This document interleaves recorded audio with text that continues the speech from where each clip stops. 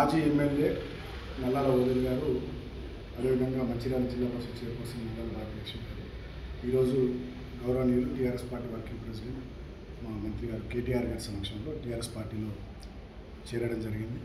So గతంలో వాళ్ళు మొదటి నుంచి టీఆర్ఎస్ పార్టీలో ఉండి మధ్యలో కొంత వేరే పార్టీలోకి వెళ్ళినటువంటి సందర్భంలో మళ్ళీ మనం అందరం కలిసి పని చేసుకుందాం అందరం కూడా కలిసిమెలిసి పని చేసుకుని చెన్నూరు నియోజకవర్గాన్ని అభివృద్ధి చేసుకుందాం.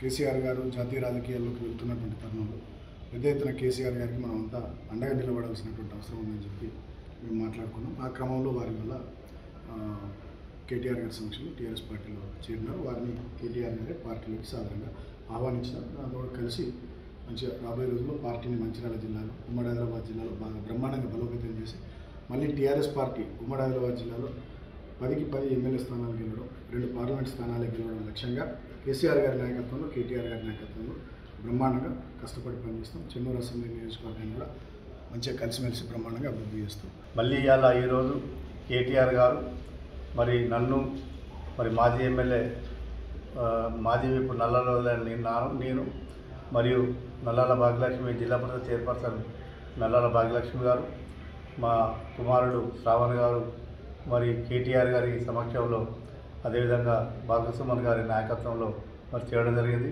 భవిష్యత్తు లోపల జాతీయ మరి రాష్ట్ర పార్టీ అంటే అభివృద్ధి కోసం కానీ అదేవిధంగా టీఆర్ఎస్ అభివృద్ధి కోసం కానీ సహశక్తులు ప్రయత్నం చేస్తా అని చెప్పి